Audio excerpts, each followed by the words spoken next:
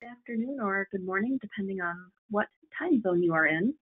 This is the error rate cohort call, and we are going to start in just a minute once the clock hits 2 Eastern, because we do have a lot to cover. Thank you for joining, and um, we will get started very shortly.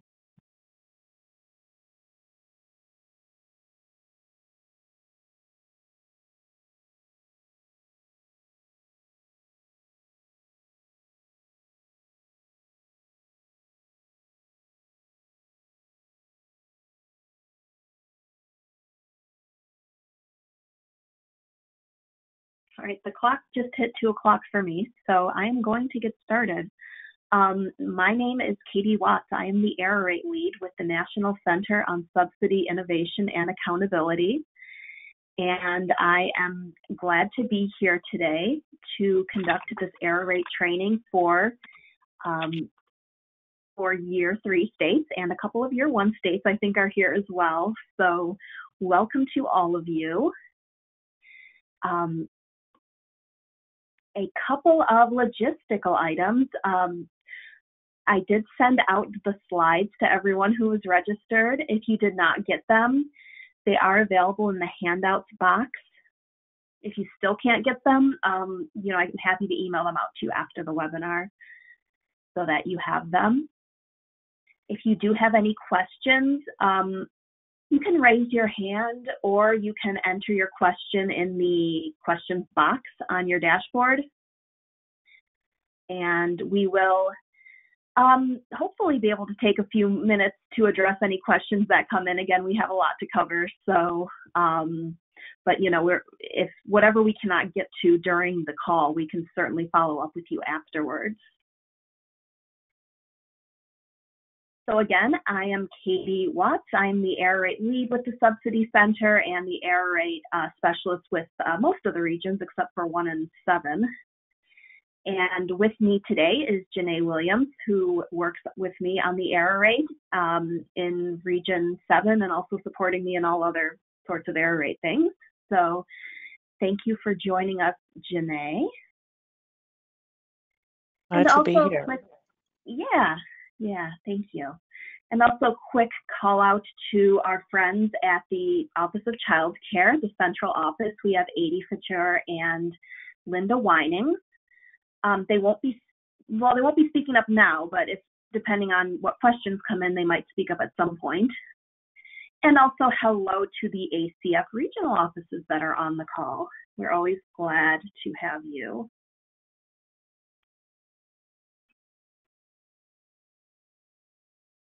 And here is a map of the year three cohort. So you can see um, your state and your other uh, friends that are on the call. Like I also, like I mentioned a little bit ago, we also have a couple of year ones on here, which are not filled in, but um, you know, we're of course glad to have you too.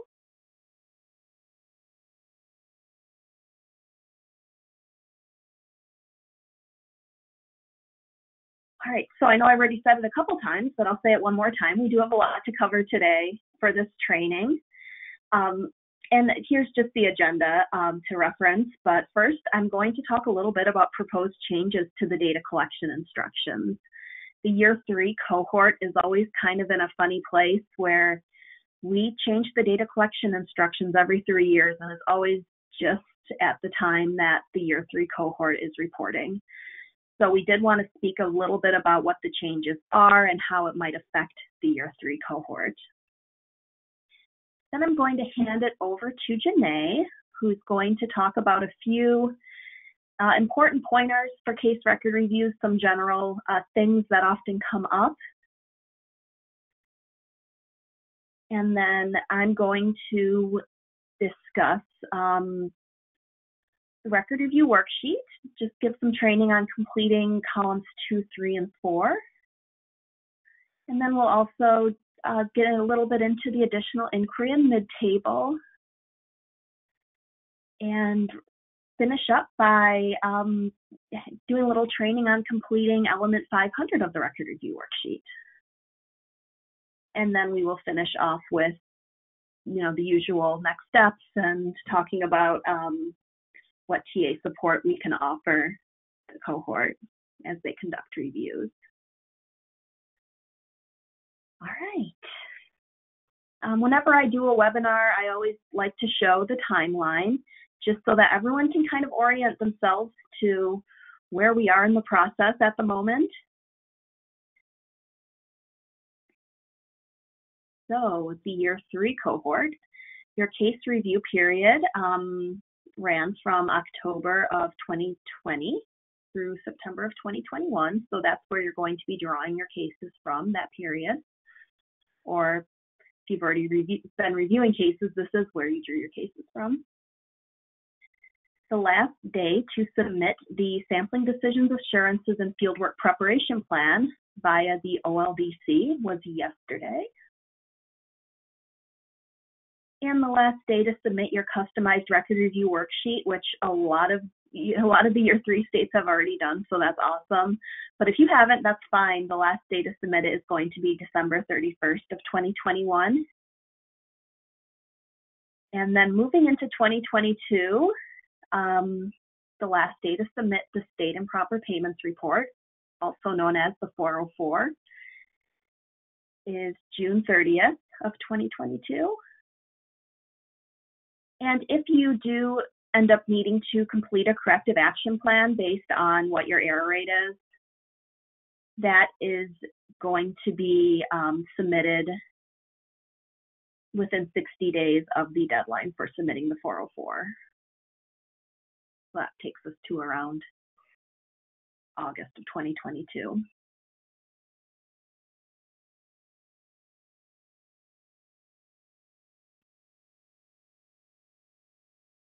Right, so let's get into um, the agenda items. First with the proposed changes to the data collection instructions. So the data collection instructions, or DCI, as we call it for short, they are revised or renewed every three years. The last revision was in autumn of 2018.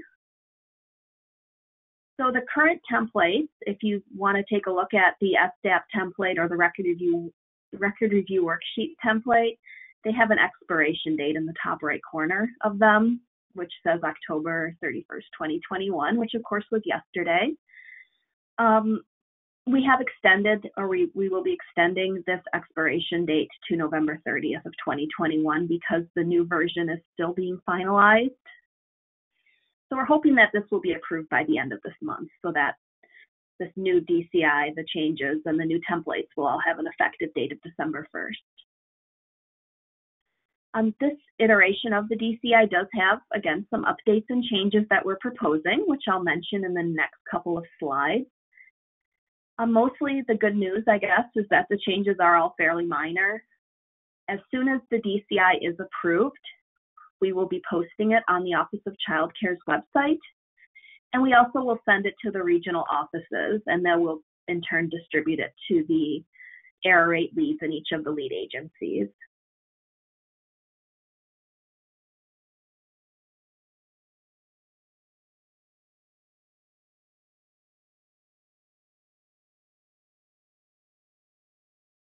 So the first set of proposed changes to the new data collection instructions involves the sampling decisions, assurances, and fieldwork prep plan, which is also known as the SDAP.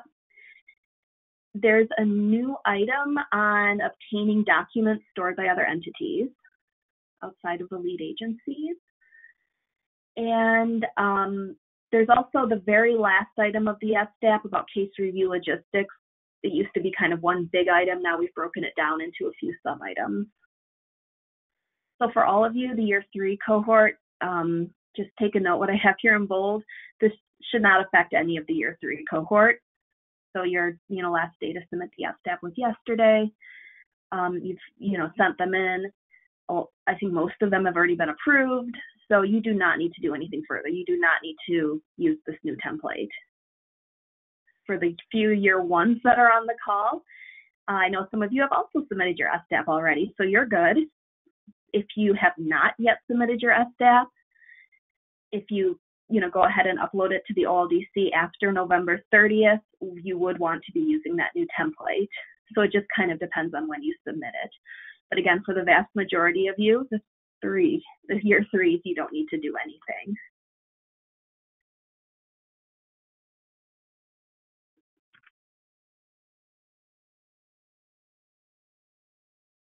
So the second set of proposed changes concerns the record review worksheet template. Again, just very minor updates to a couple of things in element 350. We've changed the title and also I think we took like a few words out of the boilerplate. Um, so how is this going to affect those of you on the call? So for the year three states, we've already submitted your customized record review worksheet, or if you're planning to submit it in the next, you know, in the next few weeks before November 30th, you don't need to do anything. Just if you haven't submitted it yet, you can do it on the current template that is um, in the current version of the DCI. If you've already submitted it, you don't need to go back and change anything. You can continue conducting your reviews on the template that you've had approved. However, if you do submit either in the year three or the year one cohort, if you go ahead and send it to us after November 30th, then we would want to make you would want to make sure that you're using the new template. And again, very minor changes, just a couple of tweaks in element 350. If you were around the last time we changed the DCI, the changes were a lot more um, major. So this this is uh, hopefully going to be a lot easier for everyone. So a few more areas where we have proposed changes. First is just conducting case reviews in general, the processes for conducting case record reviews. The scope of the additional inquiry has expanded a bit. If you're new to the error rate review, you may not know what I mean when I say additional inquiry, but we'll discuss this later in the webinar.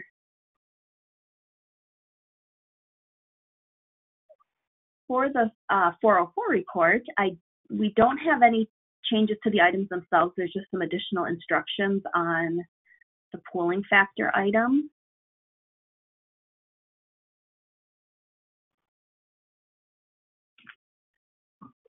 And then finally, for the corrective action plan, again, this submission is only required for those states that have an error rate exceeding 10%. So fingers crossed, none of you will have to complete one. But if so, there again, there's a couple of, of really minor revisions. Um, the title is changing, it was error rate review corrective action plan. We're updating that to the state improper payments corrective action plan.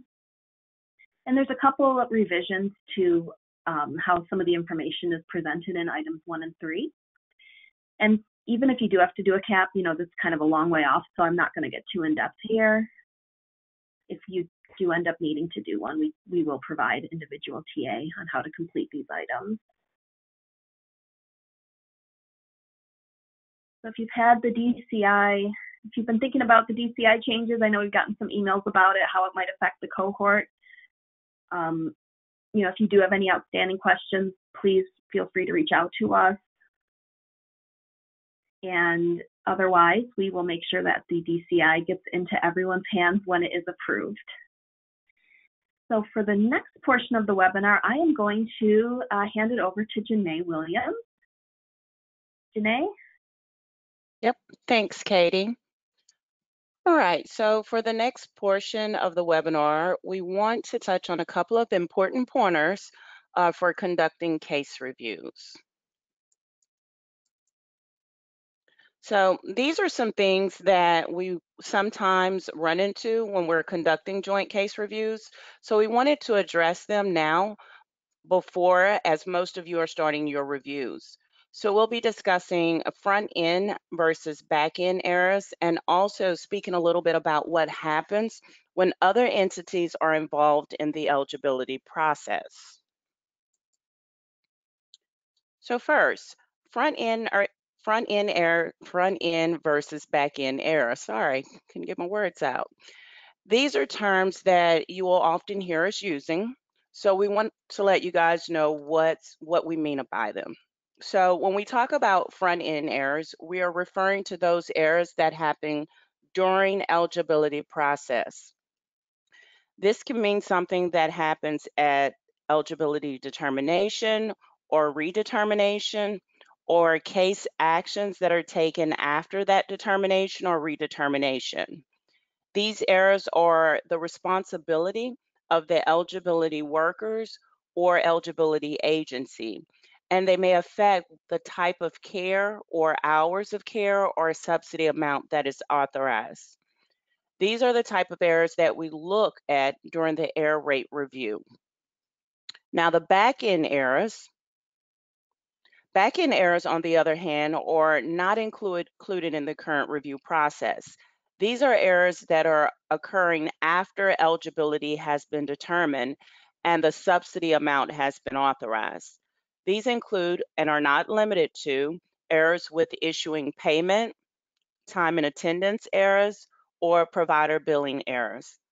If you run into an error like this, the lead agency will still want to look at this, of course, but they are not to be included in the error rate review process.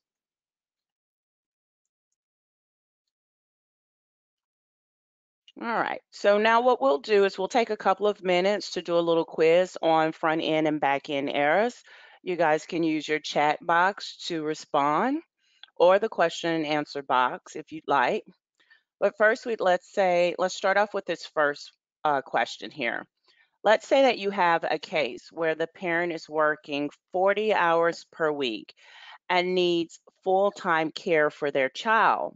However, the error rate, the eligibility worker authorizes part-time care. Would this be a front end or back end error?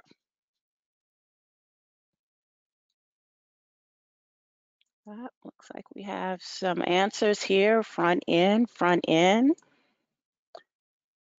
And those of you who have answered front end error, you are correct. This would be considered a front end error.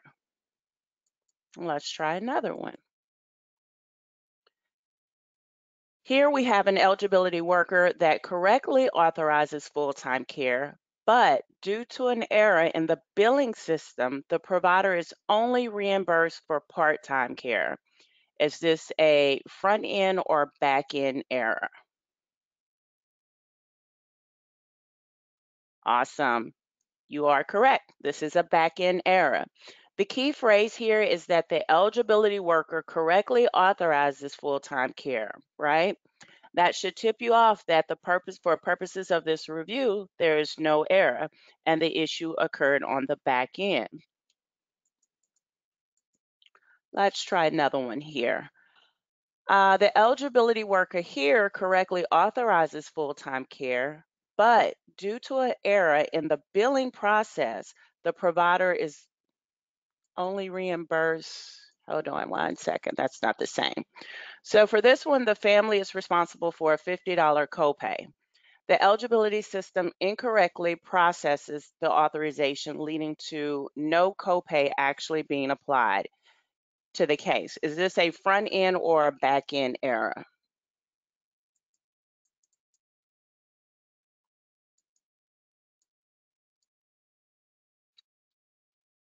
Sorry, I mixed up the examples, Janae. That's okay. I caught it.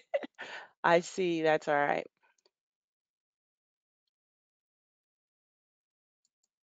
And we have front end and back end posted as the response. And this one is actually a tricky one. So and that's why we did um, put this one in here.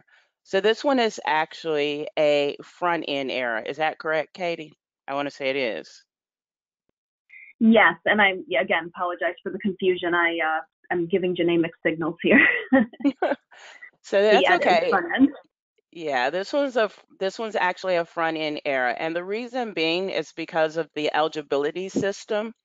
Um, the lead agency is still responsible, and the eligibility system is part of the eligibility determination process, right? So for this one, it was actually a front end error. Yeah, this one is a little tricky because um, it's you know the term system a lot of times we think that back that back end error the eligibility worker did everything right um, and presumably they did input everything into the system right but still the error occurred at the time of determination and the authorization so that's uh, why this would be a front end well All right, we can move to the next one. And the last one here is another uh, one of the items that we got we'd like to uh, share with you guys today, and it's addressing documentation for other entities.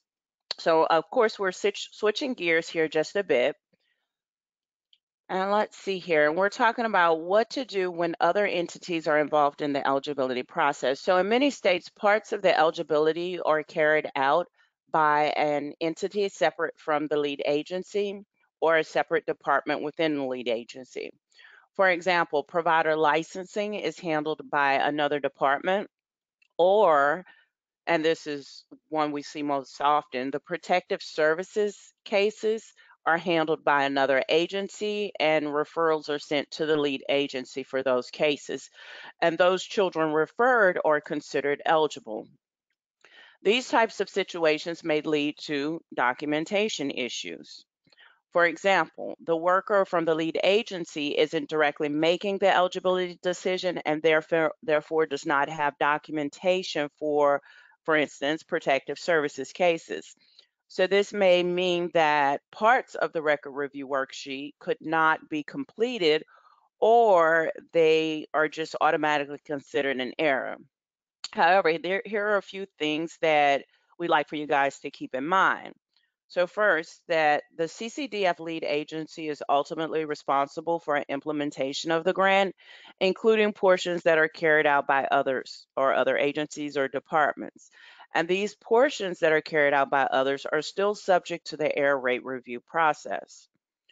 So what does that mean for your reviews? So in short, it means that those conducting the reviews still must be able to demonstrate that eligibility decisions made by other entities were done correctly. Reviewers should be able to access access documentation of those reviewers and lead agencies should ultimately have proper controls in place to ensure that those eligibility determinations are completed accurately. So if you have any questions regarding these or concerns, uh, please reach out. We do encourage you guys to reach out to your regional office. And I think I'll stop here, Katie, and we can also stop and see if there are any questions regarding uh, this information. Any questions or comments? I don't think anything has come in. All right, well, I will turn it back over to you, Katie. All right, thank you, Janae. And this is one area that, um, again, I like Janae mentioned, we've seen this come up on a lot of joint case reviews, and it is addressed a little bit more in the data in the new data collection instructions. So this is something that um, you know, is, is coming up more and more. So we just wanted to make sure that we are addressing that. All right. So actually, maybe a question did come in. Let's see. Errors made by outside agencies utilizing CCDF. Okay, this is the question, sorry. Errors made by outside agencies utilizing CCDF funds is the responsibility of the lead agency. So yeah, I think that's um, that is true. Um, and that's why for this review, um, you know, we want to make sure that if there are errors, that those errors are being addressed and and discovered, I guess, um, because you know it is still the CCDF grant money that is at play here.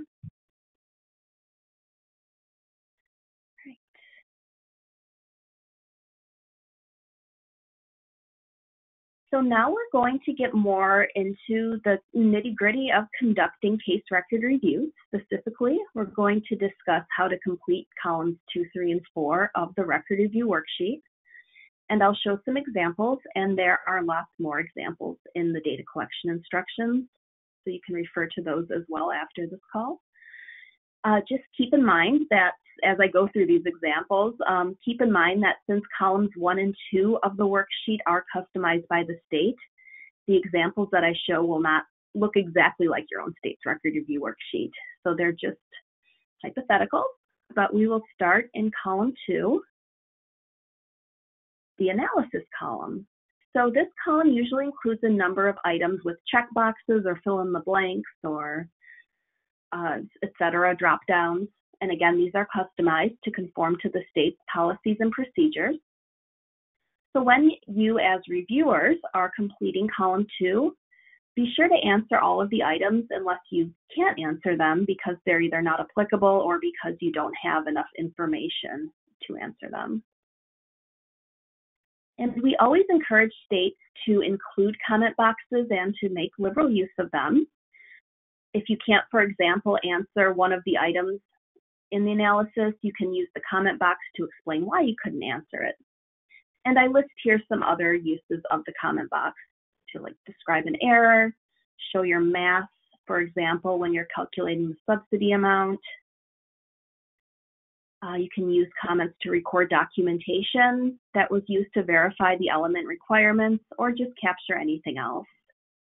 You don't always have to have something in the comment boxes. You know, like I said, we encourage reviewers to use them, but if there's really nothing additional to say, then it's fine to leave that blank.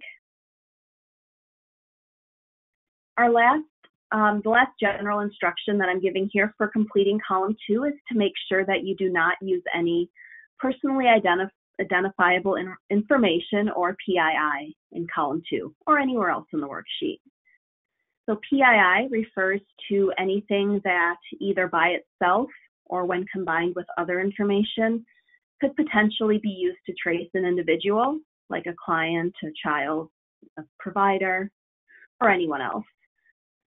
So this can include things like names, birth dates, addresses, workplaces, provider names, and so on. And this is really important to avoid in your worksheet. We always want to make sure that clients and you know everyone else involved their privacy is is um, you know being being protected here. So if you have any questions about using PII or what qualifies as PII, just let us know and we are happy to help with that. So let's get into a couple of examples of completing column two. In this first example, which again, I will revisit this example when we talk about column three and column four, but we'll start here with column two. This shows element 310 with no error. So going down to different items in column two, first the reviewer checked yes, because the parent is a re resident of the state. Then under that, there's a couple of items about verification of residency with instructions for reviewers to answer either one or the other based on the date of the case action, since there was a policy change. And I think that, you know, with especially with um, the pandemic and increased funds uh, to lead agencies, there's a lot of states that have policy changes like this on their worksheets. So here in this example, the reviewer answered the first of the items and left the second one blank. And in the comment box, the reviewer recorded what documentation was reviewed to verify residency. If this case action had taken place after the policy change, the parent would have been able to self-attest to their residency. So maybe in, in that case, maybe the reviewer would have just left that comment box blank because if they did not have anything additional to say, and that's fine.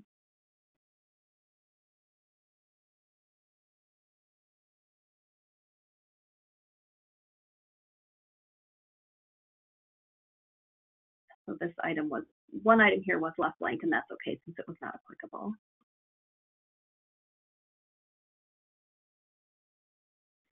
So the next example shows element 100, and this one does have an error. So going down the column, the reviewer ticked yes because there was a signed application in the case record. Next, were all the forms correct? No, and I will get back to that in a minute. And for the next two items, that the family has declared that assets do not exceed $1 million, and was there a current service authorization? Those are both ticked yes. The reviewer used the comment box to describe the error that the fourth page of the application had a couple of items that were incomplete. So in this example, I just show another use of the comment box to say what the error was.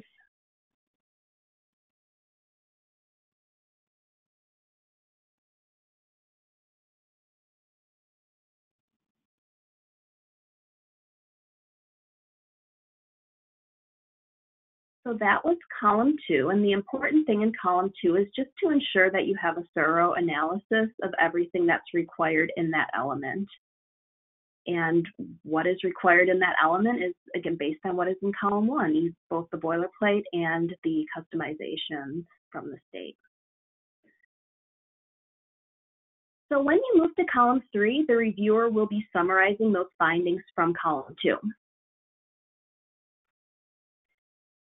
No new information should pre be presented in column three. We're just summarizing what we already know. And we'll be discussing column four shortly, but the reviewer should be able to complete column four just looking at the information that was given in three. So there's a couple of things that should always be included in three. You'll want to say whether the element has an error, and if it does, what kind of error was it? Was it a payment error, or was it an administrative slash non-payment error? Was the error caused by missing documentation or by something else? And if there was an error, you can state a little bit about, you know, what the nature of that error was, but try and keep it concise. And again, don't present any new information. And finally, the column should never be left blank, even if there was no error. And if there was no error, I'll show you in the next slide. This example shows element 310 again, and you can see in column 3 that it just says no error. So you don't need to say anything more, but again, it should not be left blank.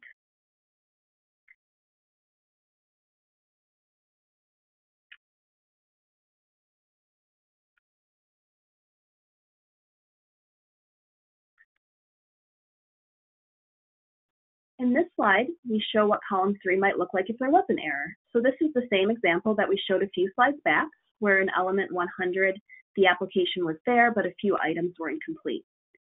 In this state, this was considered to be an administrative error. And I'm not saying that this will necessarily be the case in your state as well. We understand that requirements vary based on your policies. Maybe this would be a payment error in your state. But at any rate, here it's a non-payment error. And looking at column three, the reviewer stated that there was an error. It was caused by missing document or missing or insufficient documentation, and it was an administrative error. And then there's a few words here about the cause of the error. So this is perfect for column three. It includes everything that we want to see here, and the reviewer would be able to code column four based on this information without needing to look at anything else in the element. So let's take a look now at the items in column four.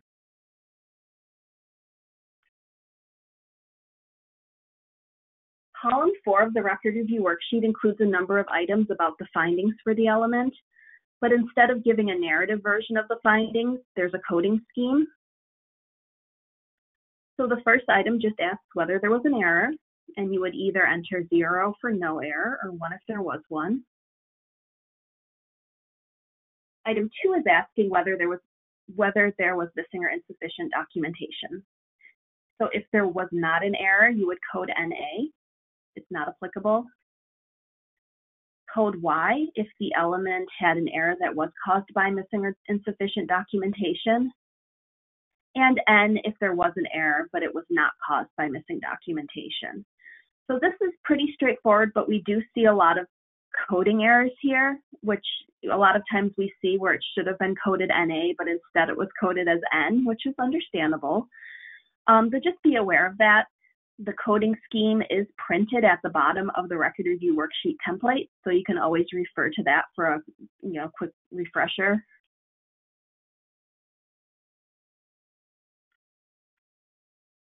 And the final item that you'll see in column four, this is actually only in 100 through 400, it's not in element 410. This one you're only going to fill in if you answered a Y for column two. It's about if there was missing documentation, is it a potential improper payment error? The only answer this is if there was a mid error in the element.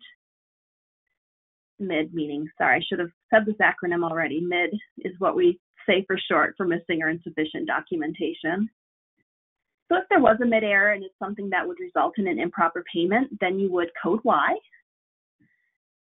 And if there's a mid error, but it's administrative or non-payment, then you would enter N. So let's bring up our two examples again. So revisiting our first example where there's no, no error in element 310. Looking at column four, the first item is coded as zero because there was no error in the element. And item two is coded as NA.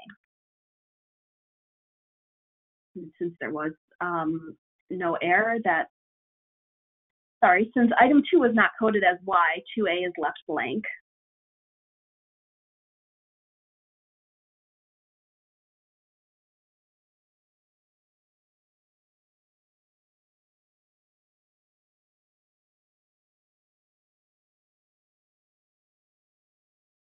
Our second example, this shows a this shows a mid administrative error. So how would we complete column four? First, item one is coded as one because there was an error in the element. The error was caused by insufficient documentation, so the reviewer entered Y for number two. And since they entered Y for item two, then the reviewer would, would go on to code item 2A. And we know just from glancing at column three that this was an administrative or non-payment error. It's not something that would result in an improper payment. So 2A, the reviewer entered N. And take a look at the wording here in 2A for the item. It mentions that if Y is coded, which it isn't here, but if we have coded Y, it says to use the mid table. So this is going to be my segue into the next section of the webinar, which is on completing the additional inquiry and the mid-table.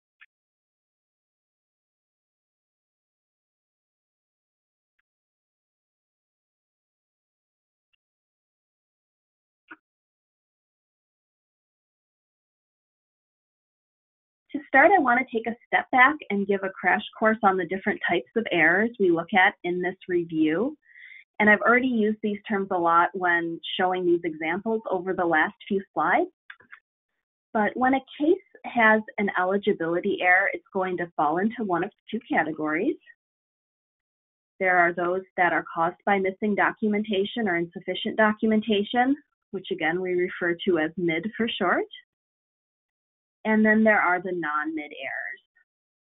So these are the types of errors that are caused by income income miscalculation, applying the wrong copay, or just other misapplications of policy that don't involve documentation.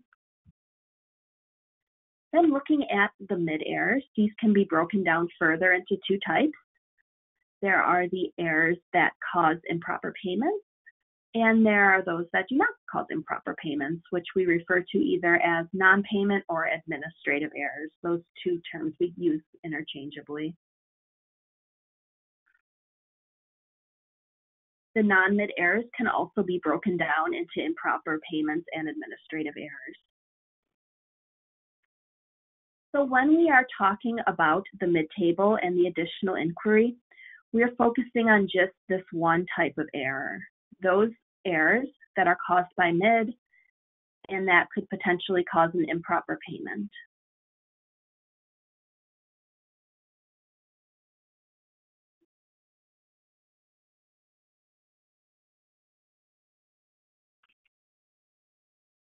What do we mean when we talk about the additional inquiry? If you were involved in the error rate review last cycle, this might be um, just refresher for you, but basically, this is a process by which those mid errors potentially causing an improper payment can be mitigated for the review if you are able to show that despite the fact there was missing documentation in the case file, the child really was eligible for services.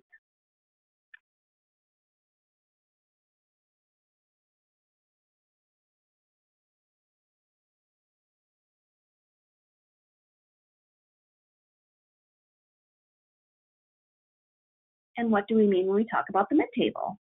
This is a part of the record review worksheet template. It shows up between elements 410 and 500, and it's used to record some data on those mid-potential improper payment errors, regardless of whether an additional inquiry was conducted. The table, if you look at the rows, it is broken down by element. If you're doing a review and there are no mid potential improper payment errors, then you would just leave this blank. But if you do have one or more, then you would fill out the table by referring to the row that represents the element with the error.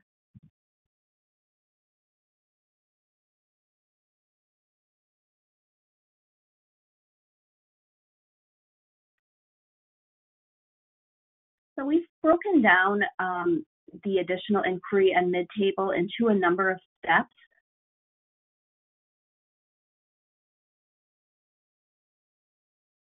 The first step is just to determine whether the element has one of these mid potential improper payment errors. If so, if it does have one, or more, I guess, determine whether an additional inquiry can be conducted and if an additional inquiry can be conducted, then you would go ahead and do it.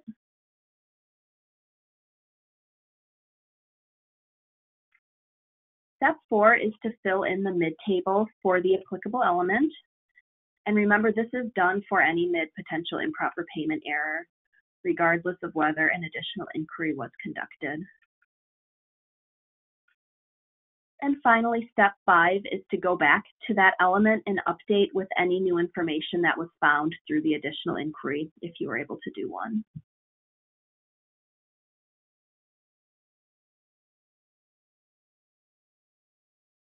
So let's go through these steps in a little more detail. So step one is again to determine if the element has a potential improper payment error caused by missing documentation or insufficient documentation. And here is where it's really important for reviewers to have a consistent understanding of the policies and procedures and error definitions. So what would make a case ineligible versus what would be considered an administrative error. So to illustrate this point, I have an example on the right of the screen. So while reviewing element 400, which is the element on financial requirements, let's say that the reviewer discovered that hard copies of pay stubs were missing from the file. However, the income information is available in the state system. So in some states, this might be a non-issue to begin with if everything is scanned into the system and there's no hard copies. But in this case, let's pretend that hard copies are a thing. They're expected to be in the file.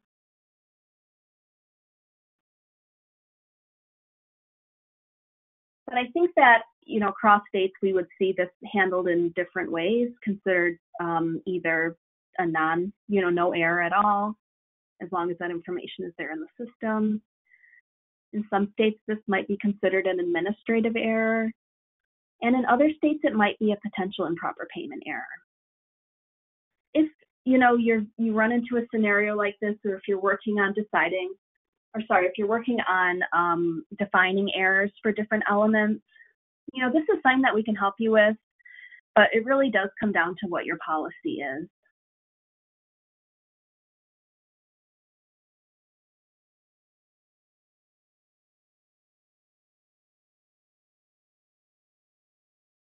So here's a few examples um, to kind of illustrate that on deciding just if something is a mid-potential improper payment error.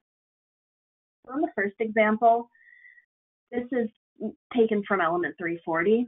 So say that the case file is missing a school schedule to support hours of care. The reviewer contacts the local eligibility office who finds the missing schedule.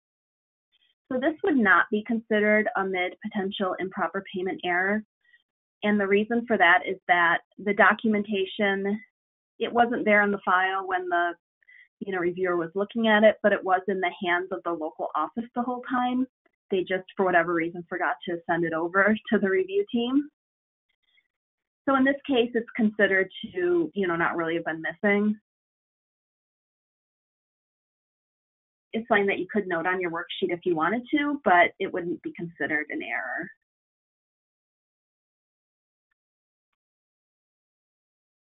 In the next example, the application is missing a signature in element 100.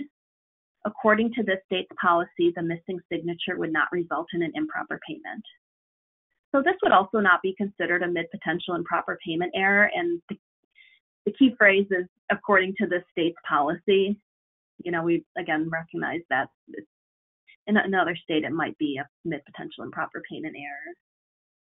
But here it would not be, so the mid-table would not be would not be completed. A couple of other examples. In element 400, there were pay stubs missing, which would cause an improper payment. An additional inquiry was conducted. So here, this would be a case where the mid-table would need to be completed.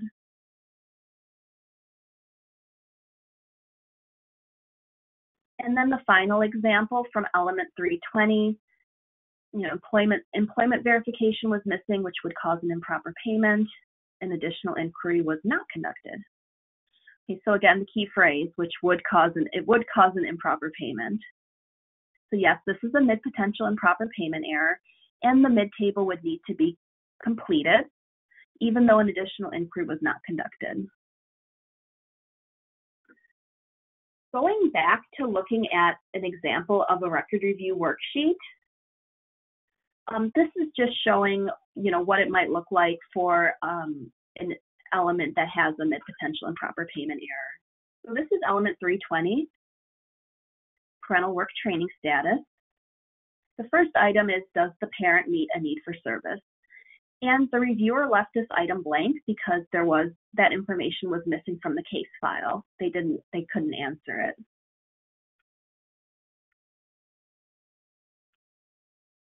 The third item down is the required documentation needed to verify the need for service in the file, and that was answered no.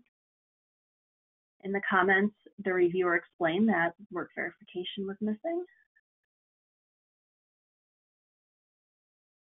Column three included a description of the error type, again, kind of touching on all the different points we like to see here in column three, that there was an error. It was an improper payment error or potential improper payment error, and it was caused by missing documentation. In column four, note that that item 2A and I, if you're looking closely here at a column four, you can see that the numbering is one, two, and A. That should say 2A. I'm guessing that was some autocorrect thing. Um, but regardless, it should say 2A. The reviewer answered 2A as Y. So that's kind of the tip off that because it was answered as Y, that the mid-table would need to be completed.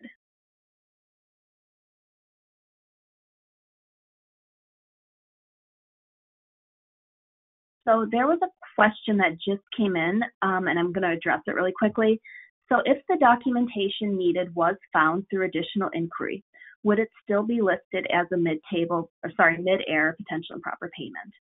And the answer to that question is yes, it's still considered a potential improper payment, even though it was um, mitigated through the additional inquiry, it still had the potential to be an improper payment. So we still consider it that and the mid table would still, you know, would be filled out to show to show what was done for the additional inquiry.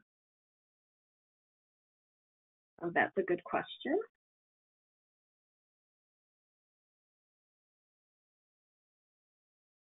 So in this slide, I've combined steps two and three and just wanted to touch on what might be done for an additional inquiry. So I mentioned at the beginning of the webinar that the scope of the additional inquiry is expanding in the uh, in the proposed instructions.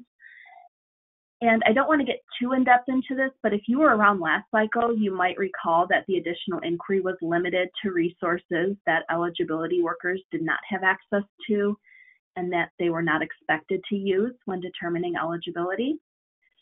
So in the revised instructions, we're proposing that reviewers be able to use essentially any resource, regardless of whether the eligibility worker should have used it.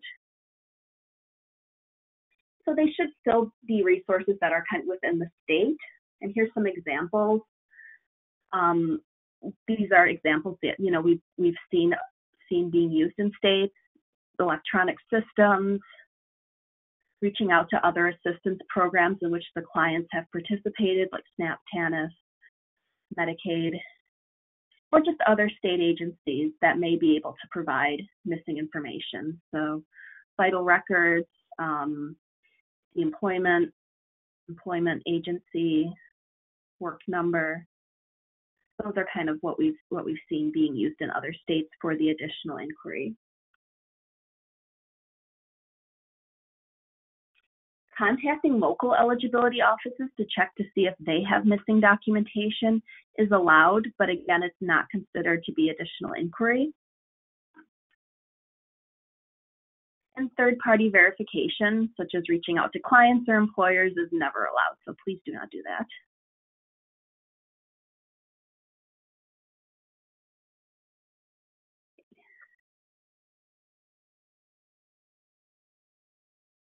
And Kevin, I will get to your question in just a moment. So step four of the additional inquiry and mid-table process is to complete the mid-table. And I've given an example for that element 320. So let's say that the reviewer was able to do an additional inquiry. And so in the mid-table, they would the reviewer would refer to the row for element 320. In column two, describe the documentation that was missing or insufficient. And you just need to give like a brief description here.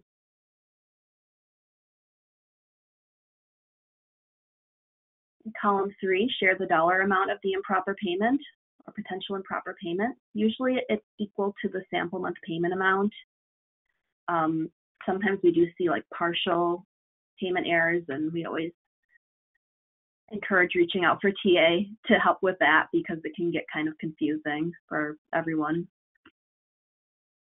In column four, this is where we ask, is there an additional inquiry that could be completed? And it's just a code zero for, for no additional inquiry or one for additional inquiry. I kind of mixed it up here in the instructions. Um, so I can change that and I will resend these slides out to everyone. I apologize. This should say zero for no AI and one for AI. Column five is if there is no additional inquiry that can be completed, this is where you would describe why not. And again, just a few words or a sentence is fine here. You don't need to, you know, write a ton. If an additional inquiry was done, you can just leave this one blank.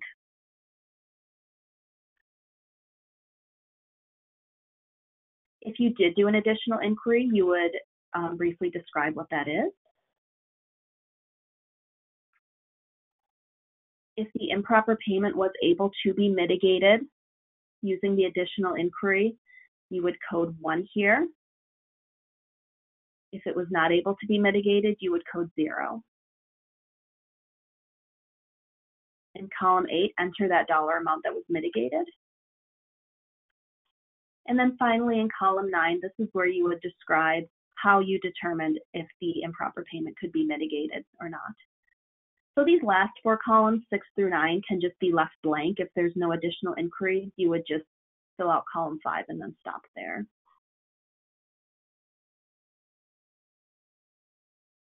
So say that you were able to, you know, have an additional inquiry and it was successful and you've mitigated the improper payment. What we would ask you to do then is to complete step five, which is to update the element with any additional information. So for example, in this element 320 example, the reviewer was now able to say that yes, the parent did meet the need for service. However, since that documentation was still missing from the file, we're going to leave this item as checked as no.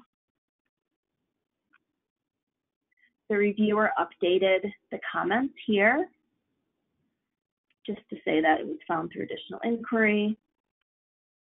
And also mention in column three that yes, there was still that potential improper payment error, but it was mitigated. Column four, we're going to leave this as is. again, that potential improper payment error was still there, so we're not going to change anything.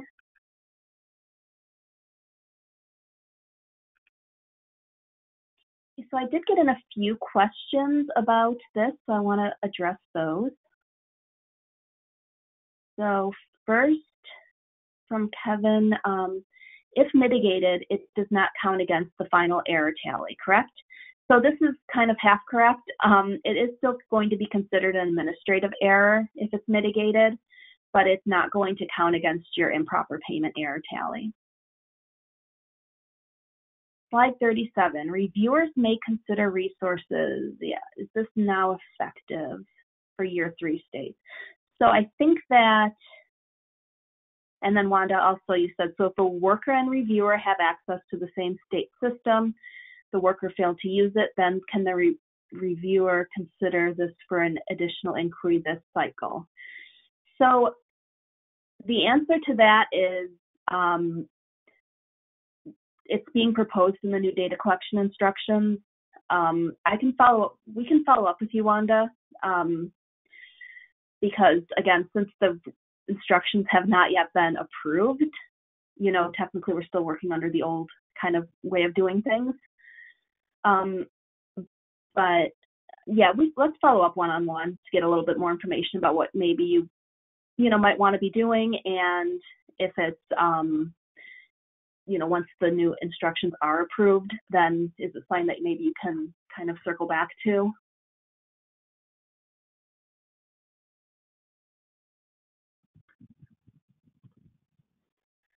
All right, we only have a few minutes left, but um, I do want to quickly talk about element 500, which is our summary element. This is what it looks like. It's the last element of the record review worksheet. And there's some coding instructions, and the coding instructions are essentially the same for these two items as you would see in the elements you know, 100 through 410, except you're looking at the entire case instead of just you know that particular element. So you know essentially you're going to be coding zero or one. If the case has no error, you'll code zero. If there's any error, you'll code one. And then in item two, you will be coding about uh, whether the if there is an error, was it caused by missing documentation? If there's more than one error, it can be a little bit tricky. You know, am I going to code this? Why?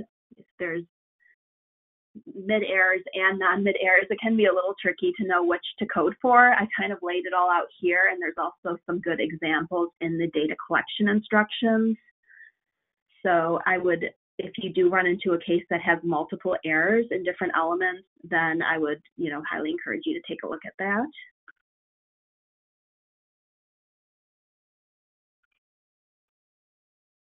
Next, in element 500, column 2, there's a number of items about the mid-table and additional inquiry. And really all of these, um, I'm not going to go through each of them individually, but they can all just be pulled from information in the mid table. If you did not have any of those mid and potential improper payment errors, you can just leave these blank or enter zero for all of them. Again, these, these items 2A through 2E only apply if you've completed the mid table for any elements. The last few items in element 500 column 2 are shown here. Item three is asking if there was an overpayment or underpayment. And you would code either O, U, or NA. Item four is asking for the amount of the improper payment if there was one. And then finally, item five is asking for the total payment amount for the sample month.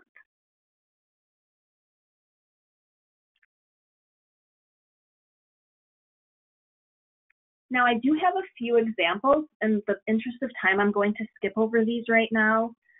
Um, but I encourage you to take a look at them after the webinar and, you know, reach out to, to me or to Janae or um, any of us on the Error Rate team, and we can certainly help you with this.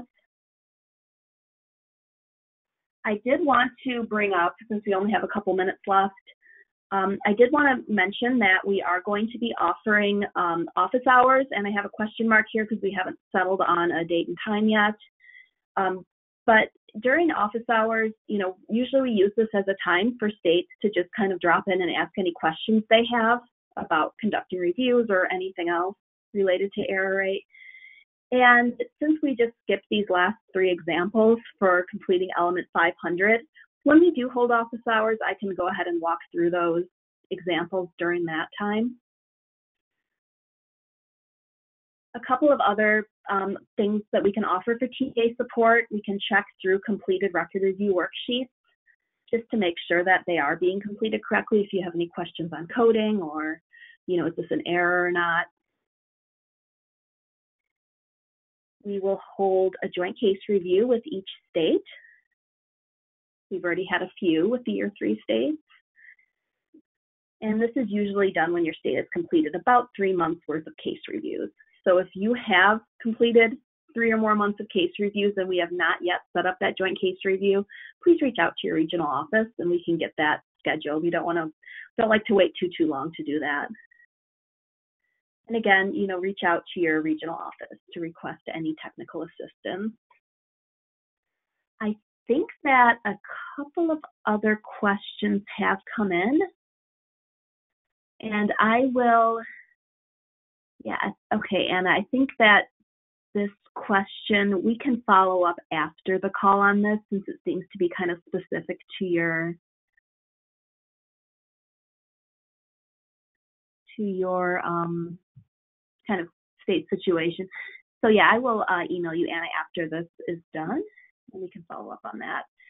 Um, as always, we really, really appreciate you joining us today. There is going to be a evaluation that pops up as you close out of here. So if you can take a few minutes to complete that. And you can also use that evaluation to ask any follow-up questions. As always, you can reach out to any of us on our error rate team. But yeah, thank you. Thank you again so much for joining us. And um, I hope you enjoy the rest of your day and the rest of your November. Thank you all. Take care. Bye bye.